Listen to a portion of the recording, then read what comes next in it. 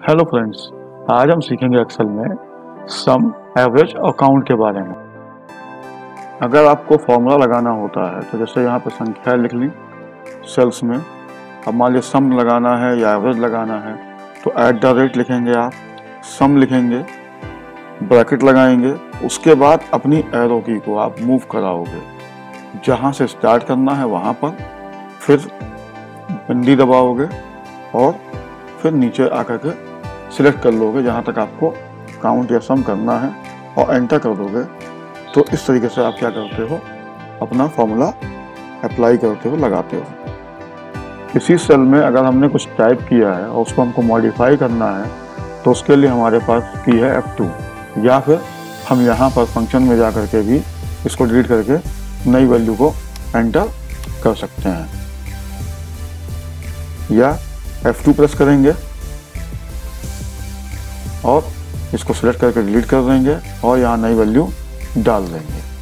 अगर आप सेल्स इन पर नंबर दिए हुए हैं उनको सिलेक्ट करते हो तो यहाँ पर आप देखोगे कि यहाँ पर उनका एवरेज काउंट और सम शो करता है। एक्सेल में सम करने के लिए हम पहले यहाँ पर कुछ नंबर्स टाइप कर लेते हैं। जैसे कि मान लिया हमने 56, 65, 45 इस तरीके से लिख लिया। अब इनको मान लीजिए हमको सम करना है, इन तीनों को जोड़ना है तो हम क्या करेंगे? यहाँ पर फॉर्मूला लिखेंगे एट द रेट सम और उसके बाद एरो की को हम पहले नंबर पर ले जाएँगे। शिफ्ट दबा करके डाउन एरो की को लास्ट नंबर पर ले जाके एंटर करेंगे तो इसका टोटल यहाँ पर आपका आ जाएगा। दूसरा तरीका क्या है कि आप इसको तीनों नंबर्स को सिलेक्ट कीजिए।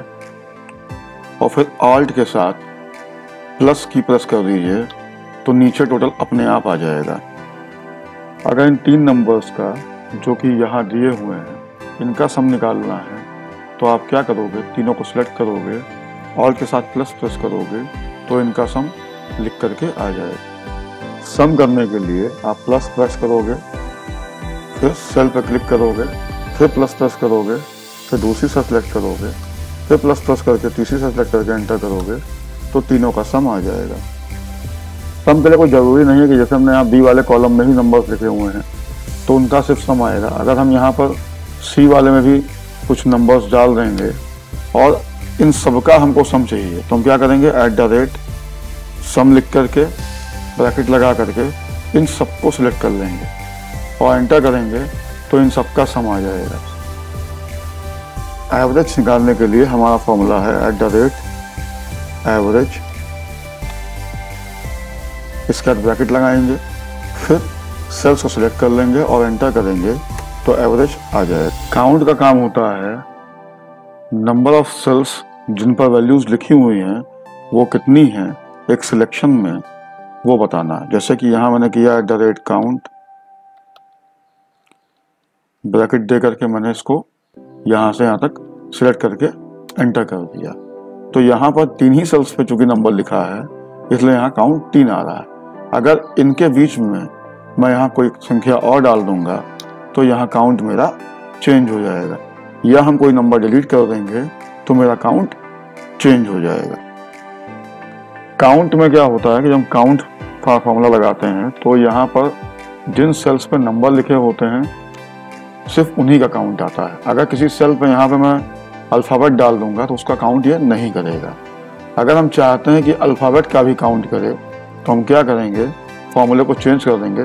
तो चेंज करने के लिए क्या करेंगे? F2 प्रेस करेंगे और यहाँ पर काउंट की जगह काउंट ए करके एंटर कर देंगे।